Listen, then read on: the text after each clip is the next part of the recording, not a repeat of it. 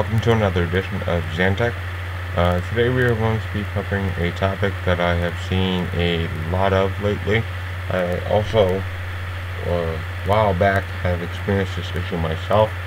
It is basically, as far as Android devices, experiencing the mount script error when attempting to use link to SD so that way you can link your application files to your SD card as opposed to your phone taking up space.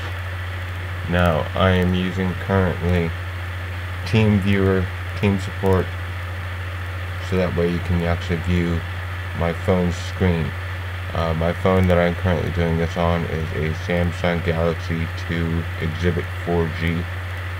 Uh, I'm pretty sure it's that I've seen it also for the HTC happen and as you can see I'm using quick support so I can actually view this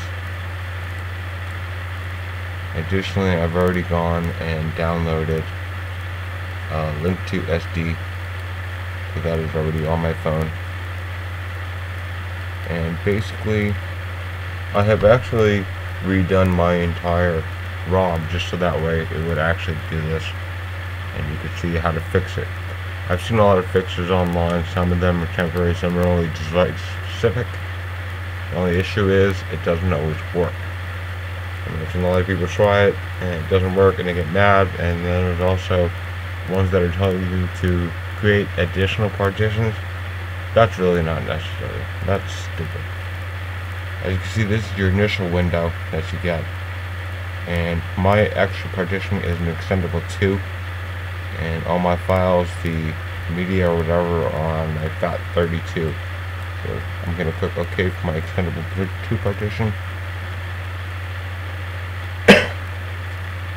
And of course it's going to bring up the uh, user super user access. For link to SDI, I would put remember this choice, but you can put it as whatever you want, doesn't really matter. But it will give me this error then that's about to pop up.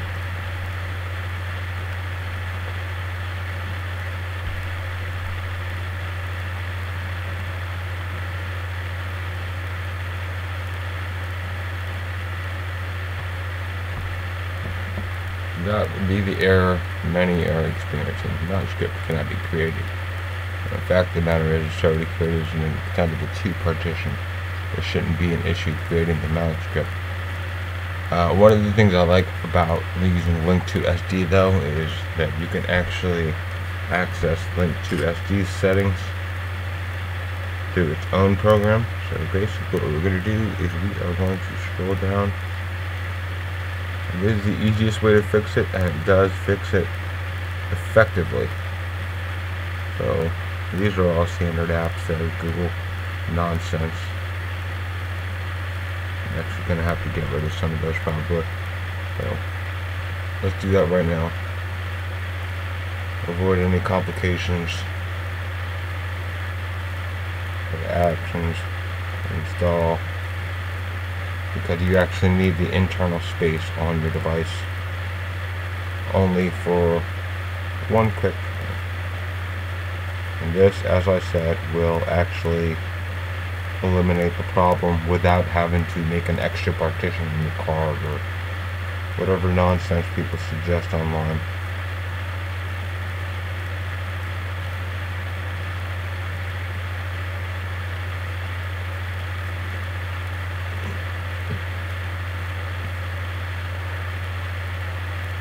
The main issue that's caused is since Link2SD is downloaded from the Play Store itself, basically it installs itself as an application. And unfortunately, in order for Link2SD to work effectively, it has to be installed as a system application, not as a application that was just downloaded. So what we're going to do is after we free up some space here, go down to Link2SD and press it with this one. And as you can see, data, app app lib, everything like that. Click on actions or press actions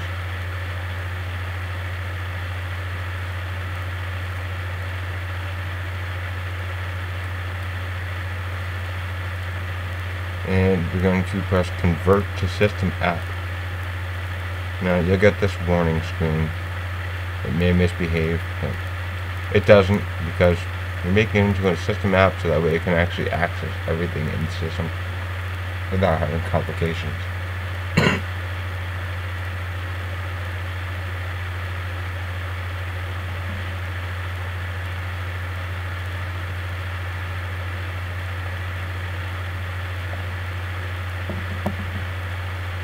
Now once that's done, you get this again.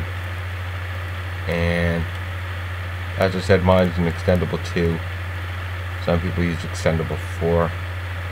I don't know why. I just use extendable 2 and click OK.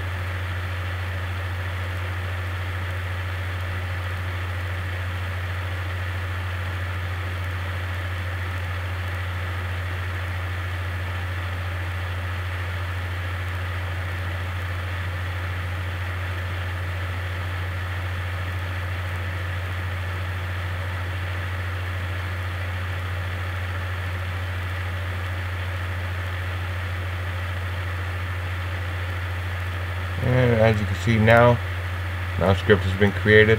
Please restart your device to mount the second partition of your SD card. So, reboot device. And my VNC viewer will actually disconnect now because my phone's rebooting. So, for obvious reasons, I can't see my device because it's no longer connected.